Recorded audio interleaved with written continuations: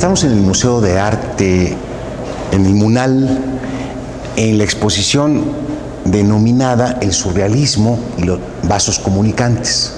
Es una muestra extraordinaria y destaca entre todas las piezas este cuadro de Diego Rivera, llamado Las Tentaciones de San Antonio, donde como puede verse unos ciertos tubérculos, unas raíces como pueden ser la papa o la mandrágora, adquieren formas por el colorido, indudablemente que se trata de unos rábanos.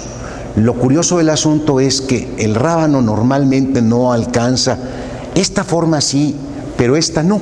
Esta es una forma más bien como de mandrágora, como que se estuvieran cocinando en el centro de la tierra y ahí hay unas leyendas acerca de la época de las brujas, en la que justamente la mandrágora, la que tiene una figura más aproximada a lo humano, es la más poseedora de virtudes mágicas.